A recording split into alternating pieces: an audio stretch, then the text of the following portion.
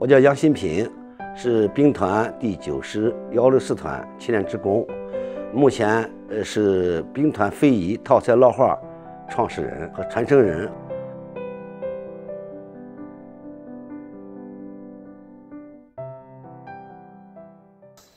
我最早的职业是就开拖拉机的，就搞机耕嘛，犁地啊、播种啊，是干这个的。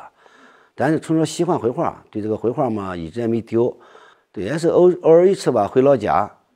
呃，就是探家嘛，啊，然后在老家那老艺人啊，上面捞一些昆虫、鱼虾、花鸟、树木，哎，我看挺好玩的，就从那产生了对这感兴趣。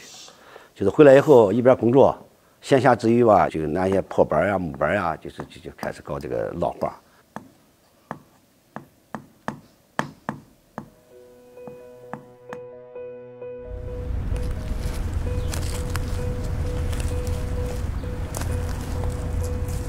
创作冰团题材，从哪下手啊？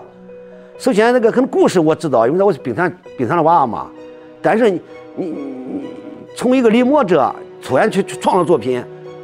还要把冰团的感情融合到你的画里面，我用一年时间调整，就慢慢调整。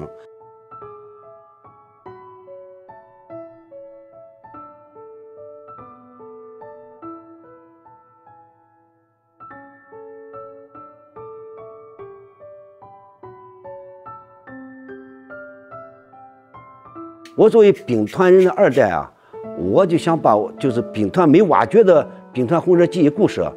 我把它挖掘出来，用了画展示出来，留给后人，够了。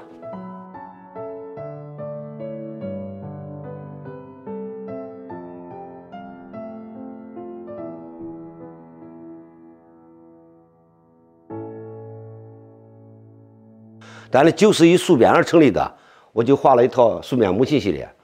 哎，从最早的收编者地窝子，然后到上海知青，就是全国的知青来收编来支编，哎，来到这，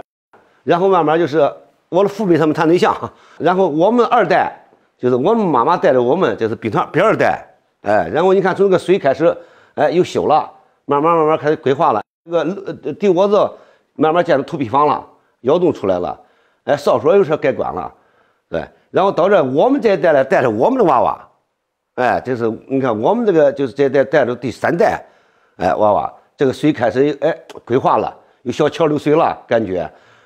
呃，农工啊，机械化，你看都都出来了，包括楼房也开始建设了，然后到现在，就是成了一个，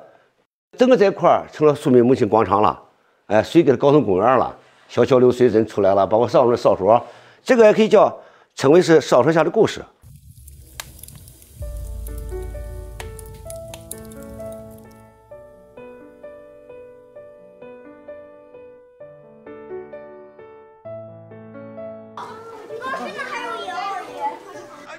没看过是吧？就是想就是把这个非遗进校园，最最主要的是用老话的题材给大家讲兵团故事，就是为给叫娃娃从这个画里面积下了写会这门艺术，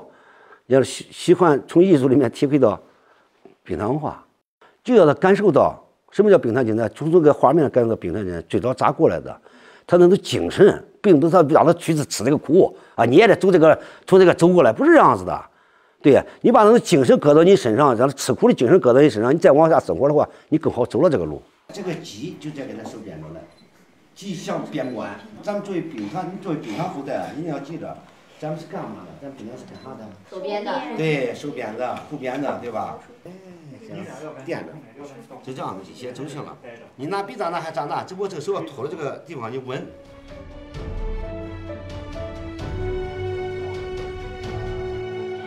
你兵团人就把你兵团的时候划开，我我就是兵团人，我所知道的可能最了解的就是兵团故事，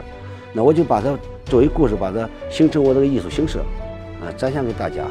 让更多人看到呀，从这个画面看到，能体现出我们兵团人的家国情怀。